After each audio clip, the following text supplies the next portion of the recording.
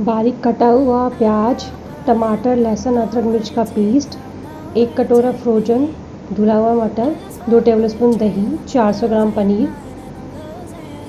तलने के लिए पनीर को तेल और पनीर को भिगोने के लिए गुनगुना नमक वाला पानी।